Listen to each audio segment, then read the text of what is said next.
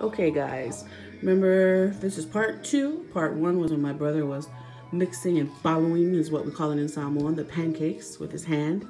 And he's certified because he has this, you know, Polynesian tattoo. So this is his pancake right here.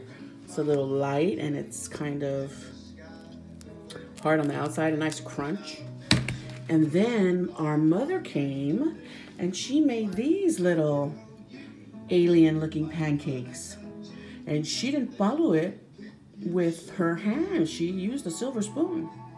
So that's B, my mother's pancakes, and this is A, my brother's pancakes. So which ones do you think taste better? Go ahead and comment below and let me know. And then I'll tell you which ones were better. So I was telling my mom with her special made pancakes, like, they look like aliens. They look like things, right? So I told her, Mom, look at this. Like, I'm afraid. Like, if I bite it, it might bite me back or scratch me. Wow, it kind of looks like an elephant. And in Samoan, I told her, Mom, look at those pancakes. Eh, e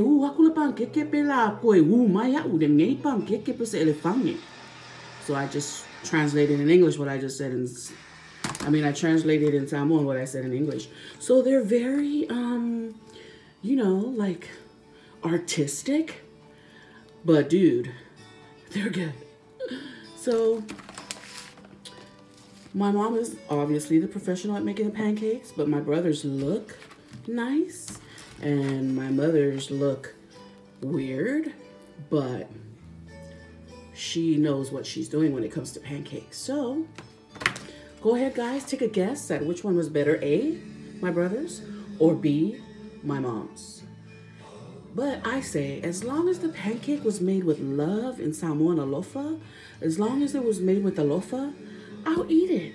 I'll take it. Because love and taste, you know, they go side by side. Okay, guys.